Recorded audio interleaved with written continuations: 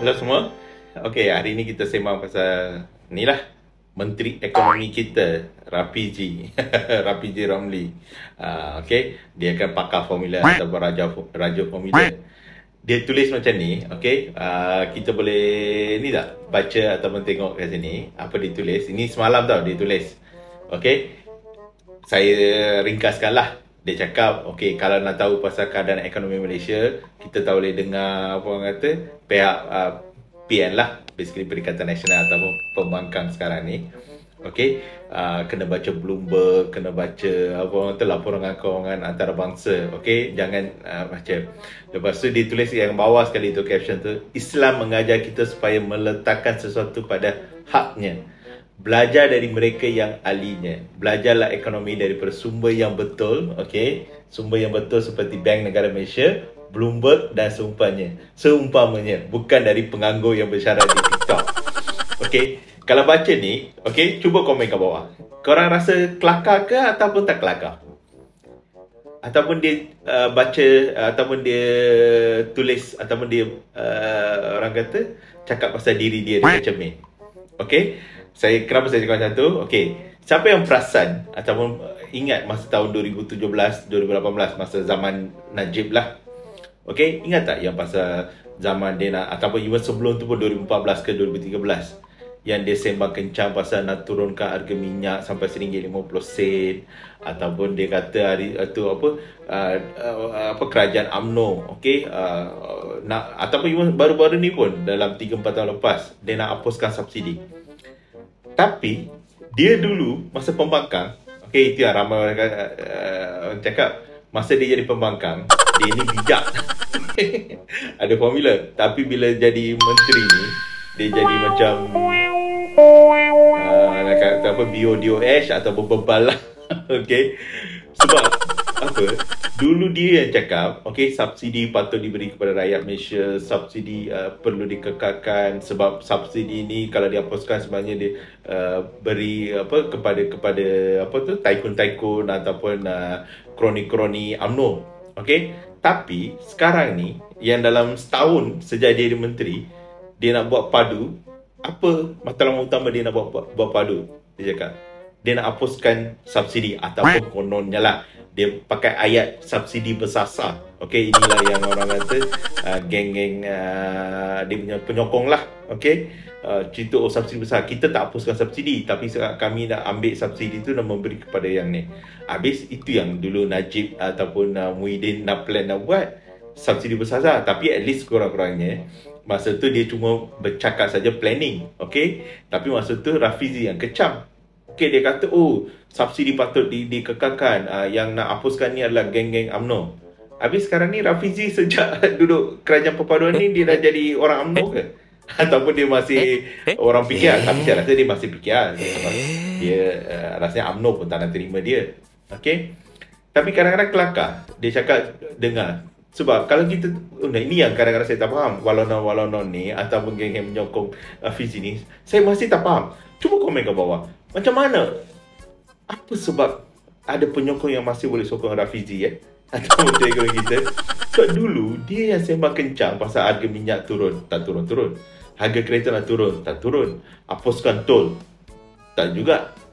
Okay Apa lagi? Ada banyak lagi You all boleh type kat bawah Tapi yang sekarang ni Yang pasal padu ni Okay Siap Apa Sebagai menteri Okay Kalau you all baca yang semalam tu Ada ditulis macam pantun konon-konon lah dia macam sarcastically nak apa tu yang YB yang dia Terengganu tu yang apa hari tu berdebat tu apa ro ro ro nenek tu. So dia pun buat lah macam konon. Ini ke level menteri? Okay patutnya kalau orang okay dari 21 juta okay yang daftar cuma 10 juta atau 11 juta je dia kena tanya diri sendiri kenapa plan yang dia buat tu okay rakyat tak memberi sambutan macam saya saya pun tak daftar. Saya website padu pun saya tak saya tak ni uh, tak tengok. Saya tapi ada banyak video lah saya tulis kenapa saya sendiri uh, orang kata tak nak isi padu. Okay, so itu dalam video lain. Tapi kalau kita tengok ke sini, okay, dia cakap tanya, habis masa dia kecang dulu Najib, masa tu bank negara terkeluarkan report ke? uh, apa tu uh, siapa lagi IMF tak keluarkan report ke ataupun siapa lagi Bloomberg tak keluarkan report kenapa ekonomi masa tu masa bawah Najib okey agak bagus atau meningkat kenapa? So ada banyak contoh-contoh okey ni bukan saya nak sokong Najib ke apa ke tapi ini saya cuma nak memberi perbandingan okey macam mana saya sampai sekarang saya masih nak tak percaya macam mana ada geng-geng yang masih boleh sokong dia ni? Okey apa dia cakap A kalau dia suruh terjun terjun gaung pun terjun gaung. Kalau ter, suruh terjun dalam orang kata uh, orang kata apa? Dalam uh, apa ya uh, yang switch tank ke apa ke orang akan sanggup uh, terjun So dia sendiri yang dulu kecam pasal Najib, pasal apa ringgit. Najib turun, ringgit naik. Sekarang ni ringgit hari ni kalau tak saya 4 ringgit 76 sen. Sikit lagi, 4 sen lagi je. Itu pun dia orang kecoh dalam 2-3 minggu ni. Sampai nak apa orang kata bagi amaran dekat Google. Sampai Google pun tak nak, okay malas. Okay, kalau tengok uh, Google pun keluarkan uh, apa uh, dia punya widget uh, chart uh, apa tu yang by by jam ataupun by by day ataupun by period yang kita boleh nampak exchange rate tu untuk USD MOR dah tak ada dah Okay, tapi kalau kita search uh, USD uh, SGD ataupun USD Thai Baht, USD Peso semua ada.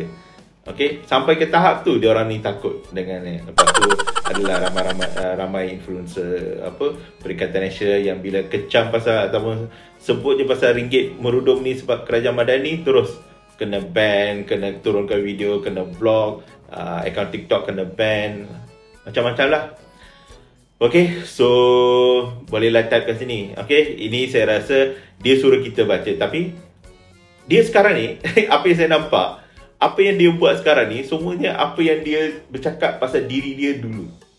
Okay, so kalau kita boleh roll back apa Ataupun kita boleh pergi ke orang kata zaman lepas atau masa lepas Macam, uh, bukan back to the future Maksudnya kita back to zaman sebelum ni sebab dulu maknanya dia pun tak baca news Bloomberg dia pun tak baca news IMF ataupun dia pun tak baca apa dari bank negara ataupun dia pun tak baca apa portal-portal ekonomi apa semua.